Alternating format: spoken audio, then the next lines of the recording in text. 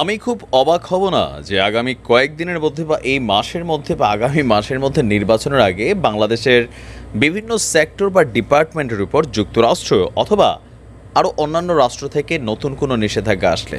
কারণ নতুন নিষেধাজ্ঞা আসতে পারে এই বিষয়টাই এক ধরনের আমরা একটা সিমটম দেখতে পাচ্ছি। ইতিমধ্যেই যুক্তরাষ্ট্রের নিউ ইয়র্ক ভিত্তিক যে সংস্থা আন্তর্জাতিক হিউম্যান রাইটস ওয়াচ তারা একটা প্রতিবেদন করেছেন। আর সেই প্রতিবেদনের আগে পরে বাংলাদেশে গতকালকে আপনার প্রায় প্রায় আমরা যদি দেখি আপনার এখানে কয়টা রাষ্ট্র? একটা মিনিট, আমি একটু দেখে নিচ্ছি যে প্রায় আপনার উনত্রিশটা রাষ্ট্র, উনত্রিশ সরি পঁচিশটা।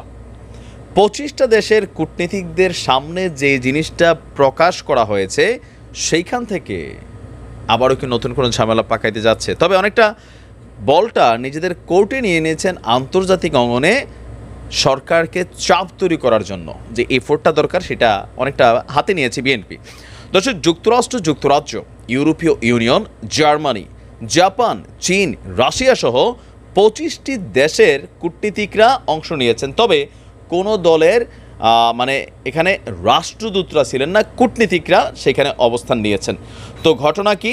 ঘটনা হচ্ছে, গত উনত্রিশে জুলাই মহাসমাবেশের ঠিক পরের দিন উনত্রিশে জুলাই ঢাকার প্রবেশমুখে বিভিন্ন অবস্থান কর্মসূচিতে আপনার মানে অবস্থান নিয়েছিল বিএনপি। আর সেই অবস্থান কর্মসূচিতে হামলা, গাড়িতে অগ্নিসংযোগ এবং বিএনপি নেতাকর্মীদের মারধরের ঘটনার বিষয়ে ঢাকায় নিযুক্ত এই পঁচিশটি দেশের কূটনীতিকদের ব্রিফ করেছেন বিএনপি। শুধু ব্রিফ না, সেদিনের ঘটনার উপর নির্মিত একটা ভিডিও তারা তাদের সামনে প্রদর্শন করেছেন। এমনকি অভিযোগ করেছেন, তারা শান্তিপূর্ণ কর্মসূচি পালন করছিল।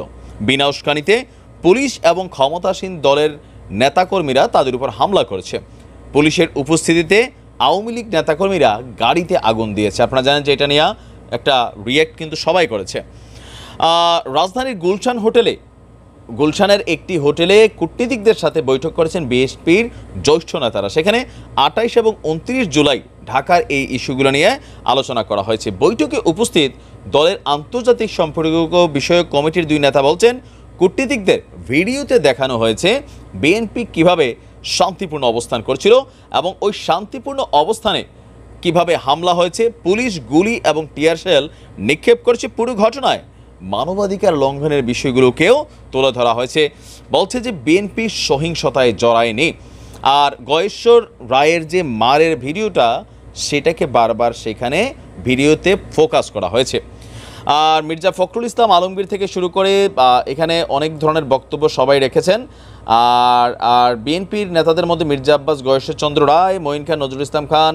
তো এখানে আরও কিছু বিষয় সামনে এসেছে যে যাদের পিটিয়ে আহত করা হয়েছে, তাদের বিরুদ্ধে আবার মামলা দেওয়া হয়েছে।